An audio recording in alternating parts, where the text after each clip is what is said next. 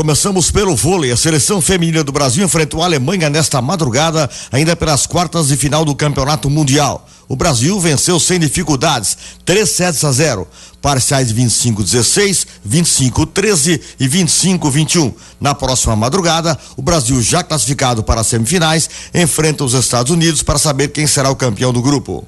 Novidades no mundo do futebol. O Santos confirmou a contratação de Adilson Batista, ex-Cruzeiro, ex-Corinthians, como técnico. Ele assume em dezembro, após o término do Campeonato Brasileiro, e começa a preparar a equipe do Peixe, pensando na Taça Libertadores da América para o ano que vem.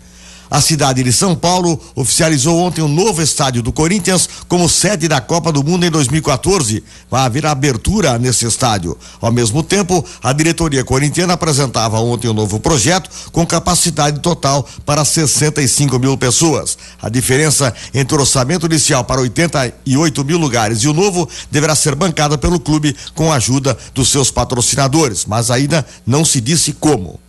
O Cruzeiro deve ter uma novidade para o jogo contra o Corinthians pelo Brasileirão. O artilheiro Wellington Paulista volta ao time após se recuperar de contusão. Pelo lado corintiano, Jorge Henrique já deve ficar no banco. Para enfrentar o Atlético Mineiro, o Palmeiras ainda deve ficar sem o goleiro Marcos e Valdívia na primeira partida pela Copa Sul-Americana amanhã à noite. Já o time mineiro não deve contar com Zé Luiz e com Diego Souza, entregues ao departamento médico.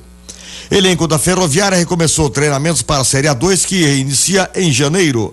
Mais uma novidade foi apresentada ontem. O novo reforço é o ala esquerdo Raul Diogo, 25 anos. O jogador passou por vários clubes paulistas. Em 2009, conseguiu acesso com o Votorati e hoje deve chegar à Fonte Luminosa o volante Moisés também, oriundo do próprio Votorati.